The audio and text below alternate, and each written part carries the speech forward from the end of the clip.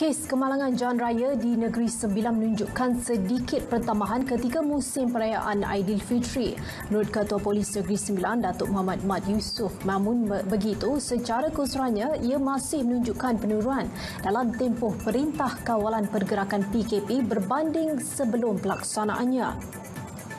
Peningkatan dalam kadar kes kemalangan jalan raya pada musim perayaan kali ini berkemungkinan dalam kelonggaran yang diberikan menerusi Perintah Kawalan Pergerakan Bersyarat PKPB. Selain itu, bagi indeks kes jenayah pula terus menunjukkan penurunan lebih daripada 40% sehingga hari ini. Beliau berkata demikian ketika ditemui di Kompleks Penyiaran Tuanku Muhammad, Seremban.